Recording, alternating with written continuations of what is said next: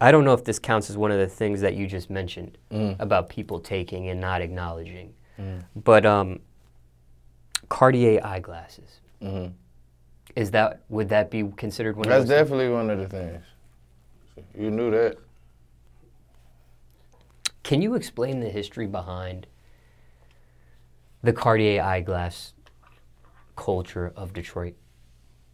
Like, even like, all right, like, I wouldn't even dip it as far as into like the whole thing of Cartiers, but this specifically white buffs, like that's Detroit shit. Like, nigga, white buffs is Detroit shit. You feel me? Like that's Detroit shit. Like now you see all these suckers, man. Like and they be having the buffs look all cheesy. My man, that shit just fucked up, Smallz. When you say cheese, what's an example of cheesy? Like you don't need, like bro, niggas just be having on buffs with whatever, thinking buffs can just say the whole situation, bro. Like these niggas know the buffs come with certain shit. It's like buffs with the wham with the wham. Niggas just buffs. Stupid ass niggas just got on buffs. You don't need buffs too big. The bitches sliding off your face. Got those stupid big lenses.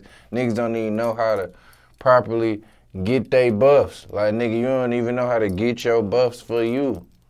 Like that shit is, you know, it's more of a science than niggas think. That's how you can tell when it's just a old, like, oh man, How does one figure that out? it's just easy. Like even being down here, they can tell. Like I'm a Detroit nigga. I guess it's just a thing. Do you own a pair of white buffs yourself? I'm done with the buffs. I fade in and out of buffery, but I'll probably buy some more buffs next month. But right now I'm done with buffs. Why? Shit, it was just like shit. I done broke damn near four, five pair of buffs, lost buffs, and it ain't like a thing where you be done with like, with, like me. Like when I say I'm done with them, it just be like I'm on the buff break. Like I started my whole like when I first started rapping, all my videos, buffs. Like I damn near like damn I don't like I gotta look like me. That's why I don't wear buffs as much, cause like the first half of my career was just like the hair and the buffs. Like I had to take the buffs off. Did you ever uh, customize your buffs? Yeah, I done put ice in buffs before, but that shit, like I don't like them like that personally, just cause just dealing with them bitches on your face like that. Now, when it comes to buffs, uh, you mentioned here where you said some people's lenses don't fit their face, they're choosing the wrong kind of buffs, and, and this, that, and the third. Mm. But what about when it comes to fake buffs? That's a crime. You trifling. You a hoe. Ain't nothing that. That's what it's what they come down to fake buffs. If you own a pair of fake buffs, listen here. Matter of fact, look, this is me, Allstar JR., a real Detroit nigga. And what's so crazy? It is how serious buffs is. Like, I ain't got on my buffs, but let me see, bro. It's buffs around, bro. It's always buffs around. If you got a fake pair of these, you is a hoe.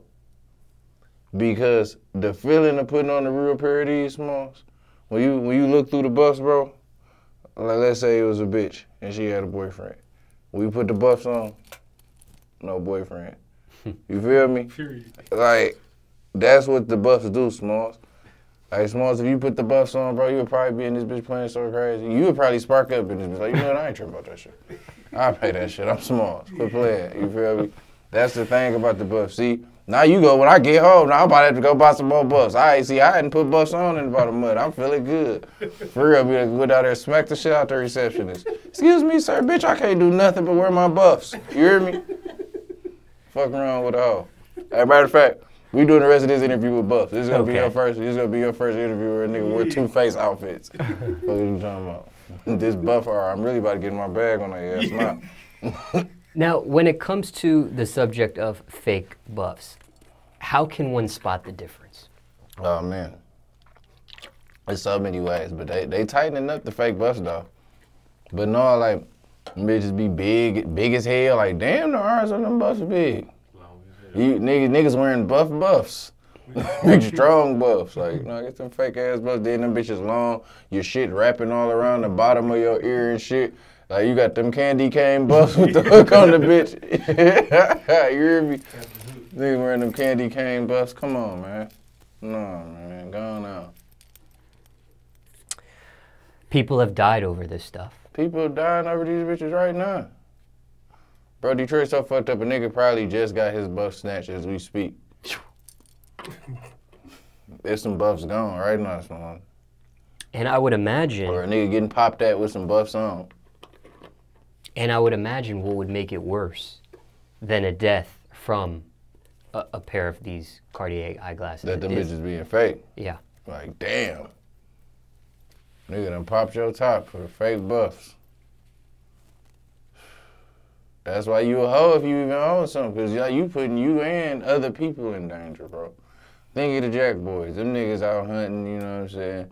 You out here with your fake ass buffs. This nigga done caught you slipping. He done bust your head. He done got caught locked up. The bus fake. Nobody was supposed to be in that position. You know what I'm saying? But you want to get these fake ass buffs to confuse everybody. That's why if you got the bitches, you a hoe. You a high risk. Like, bro, if you go get some fake buffs, you high risk, bro. I can't fuck with you fake buff wearing niggas. You don't even want to see shit right. You was a hoe.